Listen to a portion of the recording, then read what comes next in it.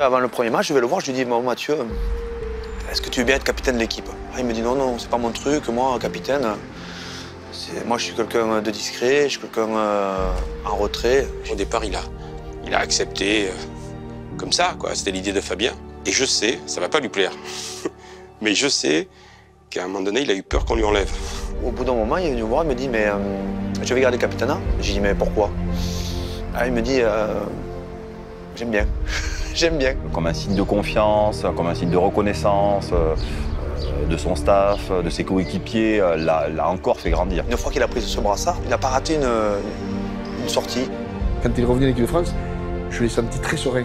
À ma grande surprise, je l'ai vu venir comme s'il y était toujours, comme un patron. Je crois que le rugby français a besoin de stars. Euh, et Mathieu Bastaro, c'est la star du rugby français. C'est une gueule, c'est quelque chose, c'est une histoire. Les jeunes, on parle de Mathieu Bastaro. Comme à l'époque, on parlait de Frédéric Michalak ou de Sébastien Chabal. Attention Donc, est devenu effectivement la, coqueluche du, du, rugby français. On en a besoin.